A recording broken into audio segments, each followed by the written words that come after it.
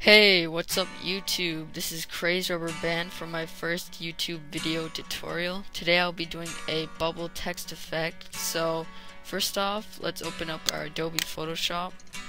After it has finished loading, go up to File and then New.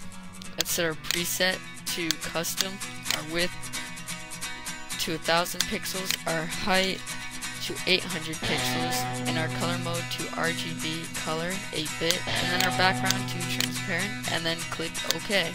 Then let's head on over to our paint bucket tool, and then let's set our foreground color to a nice solid black, and then paint the background black. Then let's go on over to our text tool.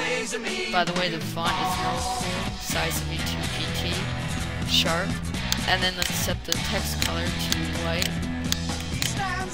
And then enter in your text. I'll do random. Now after you've done that control click your text layer and then press control C which copies it and then press control D which deselects it and then put it in the trash and then press control V which centers it. But move it up just a little bit. So it looks more centered. Right about there.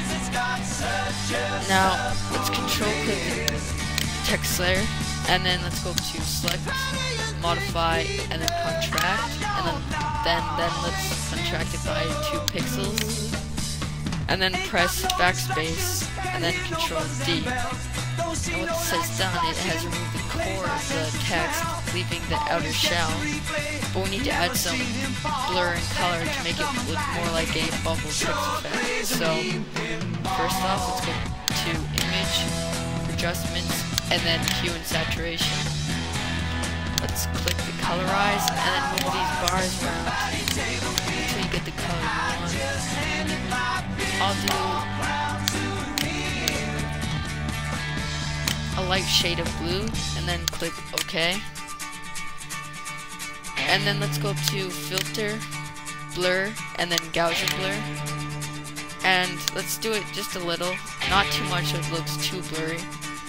And not too little so you can't notice it. About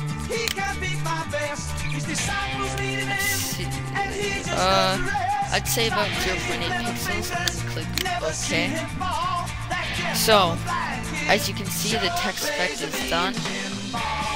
Now, I'm also going to add a mirror text effect if you want to watch that part. So, first off, press Control J. Oops, Control J to your text layer.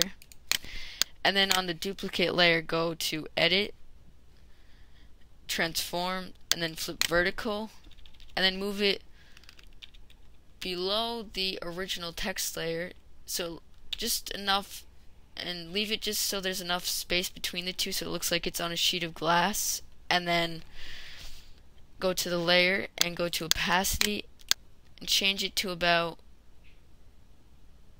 30% and then our text effect is done. So thank you for watching. This is Crazed Rubber Band. Peace YouTube